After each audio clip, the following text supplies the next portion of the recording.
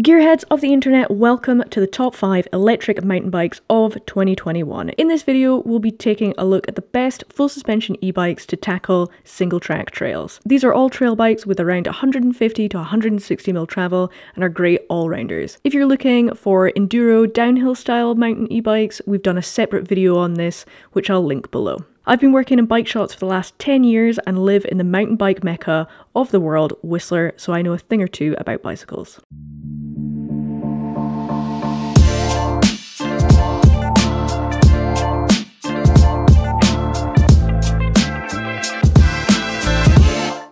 Not only will we be looking at each model of bike, but I've also considered the value of each build from the manufacturers, taking into consideration the quality of motor, size of battery, and overall build kits.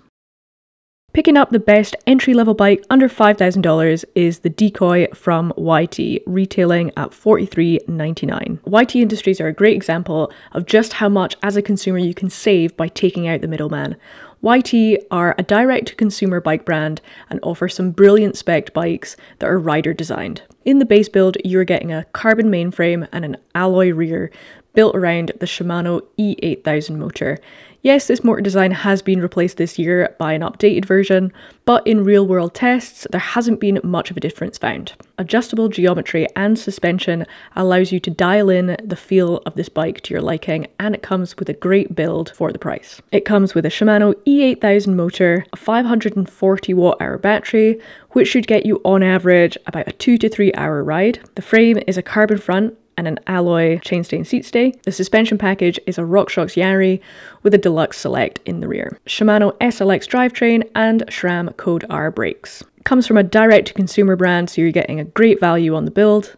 The geometry puts you in a great climbing position and it has a poppy and responsive ride. It is using an older style motor which came out in 2016. The new one is lighter and more powerful on paper, but this bike is $4,400. The best overall value bike is the Norco Sight VLT in the C1 build. It retails for $74.99 and you're getting a hell of a lot of bike for that price tag. Norco is based in North Vancouver, where mountain biking began, and they have a great reputation for building capable, fast mountain bikes. With their venture into e bikes, we've seen a surge in popularity with this brand in particular because of the great price. The Sight VLT has a progressive geometry and is built around the Shimano motor. The C1 is the top tier build from Norco with a carbon frame, E8000 motor, and a large 630 watt hour battery. The range of an e bike is really tricky to estimate because there are so many variables with terrain, temperature, rider weight, and input, but a 630 watt hour battery should average a 3 to 4 hour ride. The ride time can be extended with an optional external battery from Norco, which gives an extra 360 watt hour. If you want great parts but don't want to spend too much cash, the Norco Sight VLT C1 is my top choice. The motor is the Shimano E8000, a 630 watt hour battery with an optional 360 watt hour extender, carbon front, alloy rear. The suspension package is the RockShox Lyrik Ultimate RC2 with the Super Deluxe Select Plus in the rear. The drivetrain is the SRAM GX and the brakes are Code Rs.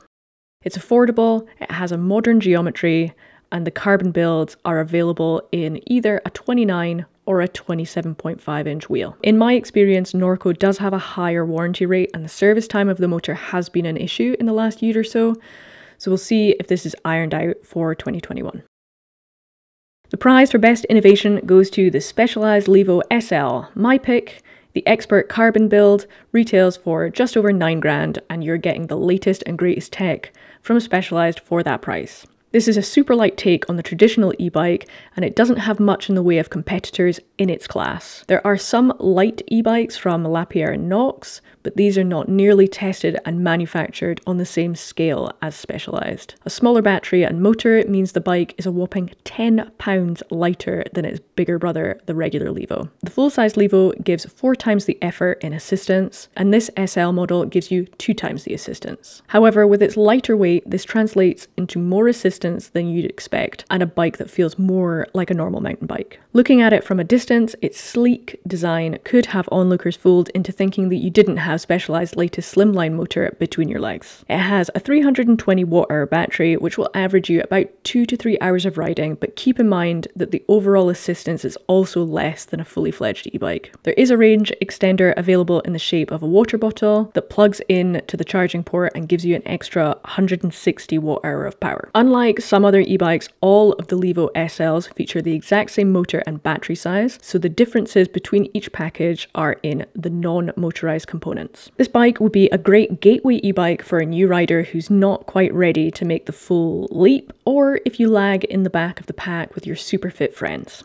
If you're looking to be in line with the rest of your e-bike riding crew, then this SL model will require more input in order to keep up with those fully fledged e-bikes. Specialized SL 1.1 motor, 320 watt hour battery with an optional 160 watt hour extender, carbon frame. The suspension package is the Fox 34 Performance with a float DPS performance with climb, trail, and descend in the rear. Drivetrain is the SRAM GX Eagle and the brakes are the new G2 RSCs, which is SRAM's new version of the guide brakes. This is cutting edge tech. Specialized is known to be super reliable in the e bike game, and it's so lightweight that you wouldn't think you're riding an e bike. The cons, obviously, it's not as powerful and it doesn't have the range as regular e bikes. Now, the crown for best overall e bike is the Trek Rail 9.8, coming in at 8.5 grand. You're getting full carbon frame with a RockShox Zeb up front. That's the fork all the bike nerds are talking about this year. And you'll be getting a hefty 625 watt hour battery with the Bosch Performance Line CX motor. Its progressive geometry makes this a no-brainer for the rider who favours gnarly, steep descents. This balanced bike has it all, a tried and tested motor with lots of juice in the battery, met with Trek's R&D department soaked in rider testing. The battery is easily removable to be charged inside or taken in for service, or replaced.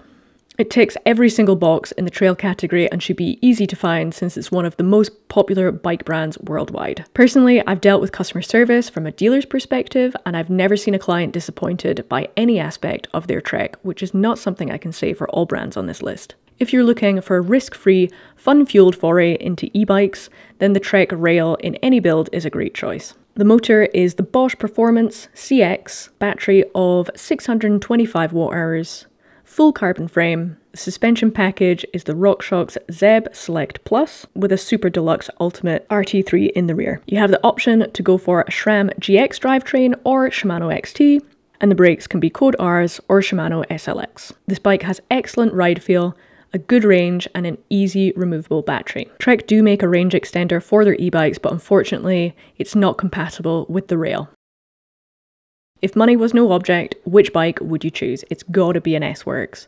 This is the specialised Levo S-Works coming in at whopping $15,000. They make cheaper bikes, but this is the top tier model with their 2.2 motor only seen in the top two versions of the Levo. This beefy, powerful motor is fed by a huge 700 watt hour battery, the biggest battery available on the market. If you want all day rides on boost mode, this is the e-bike that's most likely to deliver it. The S-Works model has a mullet setup, meaning the front wheel is a 29 inch wheel and the rear is 27.5. This ensures that you have a low bottom bracket it and a slack head tube angle, making this bike a dream to ride on rough technical descents. The Levo has an adjustable geometry, letting you dial in the feel of the bike, offering six options of head tube angle and BB height. Easy in out of the battery from the frame, just one Allen key, and you can remove the battery to charge indoors and easily reinstall it. The power button also displays the battery capacity and allows you to change the modes directly from the frame. So if you wanted, you are able to remove the remote from the handlebar. The mission control app allows for easy fine tuning of the motor. Cable routing goes through the arm on the frame, allowing the down tube to be a slimmer design.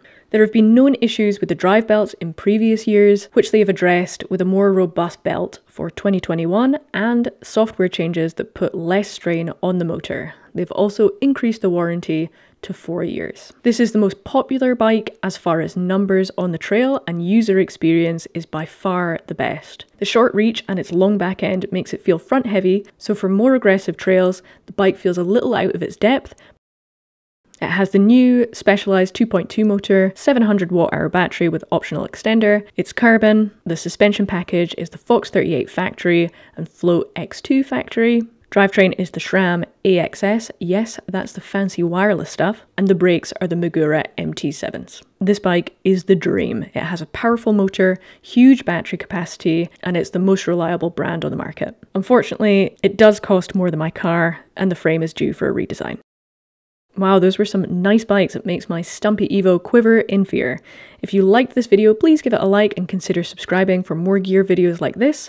Don't forget to check out the DH style e-bikes in the description below if you're looking for something more aggressive. Thanks for watching and we'll see you in the next one.